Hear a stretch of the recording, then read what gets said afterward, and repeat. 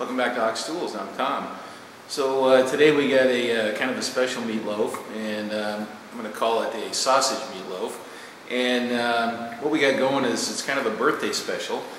And uh, a guy I met uh, a few months ago, his name is John Lotzi, and he's down in Australia. And uh, it's his birthday on June 30th, and he's uh, 6,400 years old now, so he's getting up there. Um, and for those of you that don't know where Australia is, it's a little it's a little west of New Zealand and it's a little north of uh, Tasmania. Um, it's also one of the few countries in the world that, uh, that uh, actually eats the animals on its coat of arms. So um, anyway, uh, um, I was contacted uh, kind of on the down low by uh, John's wife, Jackie, and uh, she arranged to uh, get John a copy of my book, uh, autographed by me. So John, uh, that's uh, what your birthday present is, so hopefully she's given it to you already. And um, um, so happy birthday, and many more to come. And um, so uh, John contacted me, the story goes, he built one of the little rod benders that, that I designed. And, uh, and for those of you that are interested in that, uh, you can download the plans off of the blog site. Uh, they're on there, free for anybody. Uh, and we're going to look at that in a second. I'm going to show you what John's actually making with the, with the bender and, and what he uses it for, which is even more interesting. So uh, let's, uh, let's get an apron on and let's get an apron on and we'll go look at the bender and see what John makes and or see what John made with the bender and, uh, and then what he makes with the thing that he made on the bender. So uh, let's go check it out. Okay, so uh, we're going to make a, make a couple of samples of uh, these, uh, um, these hooks that John makes. And uh, so I got some, some steel rod here. Um, John used stainless steel for his, which is the right thing. it's about five millimeter rod, something like that. And we're just going to nick off a couple of pieces here. And uh, you see I got the bolt cutters in the, uh, in the vise. You know, sometimes it's, you want to have the tool free and other times it's uh, more efficient to have the tool clamped and, uh, and then, and then uh, bring the, the work to the tool. Okay, I'm just going to nick off a couple pieces. These are 150 millimeters long, something like that. And then we're gonna, uh, I'm gonna zoom in on the bender here and uh, we'll get a close-up shot of this. Okay, so here's the little rod bender. And like I said before, you can download the plans for this um, off on my blog site. Um, anyway, this is kind of where the story begins here. John sent me some pictures of, uh, of the rod bender that he made. And um, I was, you know, I looked at the rod bender and I go, oh, hey, real nice. But really, what caught my attention was what the bender was attached to. Now, here I got it clamped in the vise, but uh, what uh, he had it, he had it on a bracket mounted to one of the the best and finest welding tables that are made today that you can buy. Um, and his is a uh, uh I can't remember the the brand, but the uh, the the mother brand is uh, Bluco, which is a German company, and uh, I'll put a link up on the screen here. You can go check them out. But it's basically a machine uh, precision welding table. Anyway, that caught my attention, and uh, so uh, of course I commented on it. And uh, turns out that his wife Jackie bought him that table. So right on, Jackie, way to go! Um, that's a that's a really nice gift. Um, anyway, so.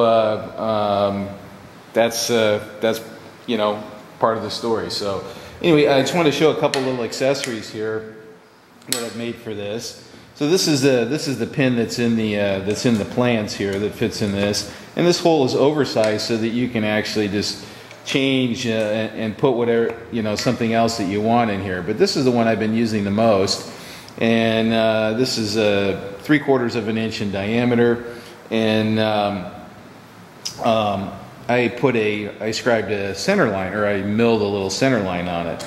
And uh, that allows me to have a, a reference mark here in relation to the center of that, okay?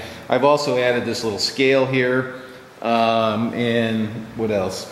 I got an idea also for um, um, a ring here that we can uh, we can set at zero so that we can track how many degrees of bend. Right now I just kind of use Sharpie on it, which seems to work fine. But uh, so let's uh, let's go ahead and bend uh, a couple of these. Oh, the other thing is uh, um, I have some bushings that actually so you can reposition this depending on what you're bending, or you can put something that that you don't want to rotate on here. Um, but the other thing I do is I put bushings on this too, and that's what we're going to do in this case here. Um, and then I'm just going to use a little a little square here to to align with a uh, where do we want to be there? Sure, why not, right? Yeah, it's kind of a deep hook. Let's do that. Let's go there. Okay. So I'm holding a little pressure on it here, and then I'm just going to bring this around. And for these, I'm just going to go to the limit of travel here. Okay. And I'm just going to reverse, reverse the hook. You know, and I've showed this a few times before, um, but um, not in relation to uh, to what John's making. Okay, so that's kind of what he made is a hook that looks like that. Okay. Um, and once again, I can put a I can put a larger uh, a larger sweep on here, so I can push it a little bit farther here. That's kind of the limit of travel right there. So um, anyway, so that's what he's making. He's making these hooks, and what he uses these hooks for is John makes uh, custom sausage or special um, artisan sausages and salami. So he uses these hooks um, let's just go ahead and bend another one here real quick. Uh, so we got two of them. Okay. And you can see that uh, you know you could you could make a lot of hooks pretty quick. And each salami needs a, needs a hook. So guess what? Okay, so there's the hooks. And uh, so I'm going to cut to a picture of John uh, uh, bending his hooks here.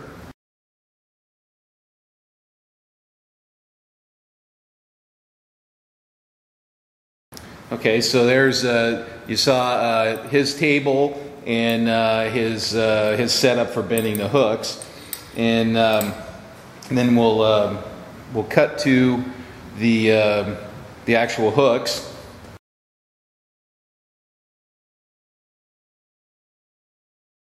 Okay, uh, you saw the hooks, and uh, and then we will show what John does with his hooks.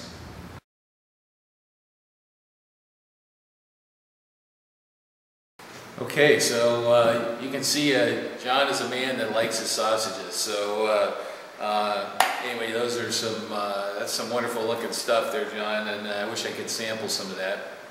Um, John and Jackie also sent me a, a, a little viewer appreciation gift here.